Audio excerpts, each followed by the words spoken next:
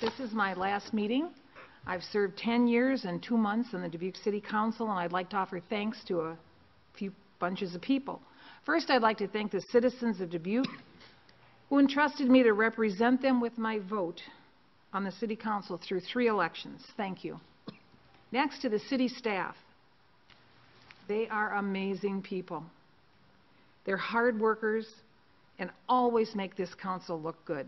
So thank you to the city staff. Finally, to my city council colleagues, it's been a good 10 years. It's a kind of a Camelot, if you will. For your collaboration and patience and goodwill, thank you.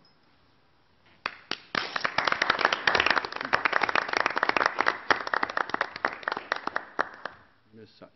I would also like to say thank you to my city council colleagues, especially to the citizens, um, for the support they gave to me the four years. I'm not going to say goodbye because I'm not going away. Um, you will still see me, and like Karla, the sock will come out of my mouth. Thank you, thank you.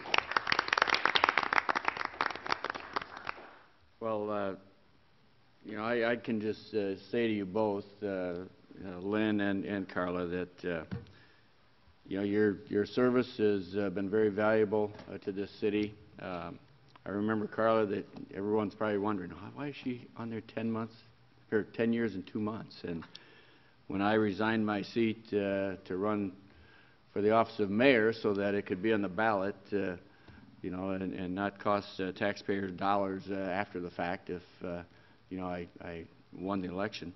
Uh, You actually served uh, those two months, uh, November and December. I was seated right away. Right, Right after right away, right away. And then you, uh, you won the election Right, uh, then after that. So, uh, right.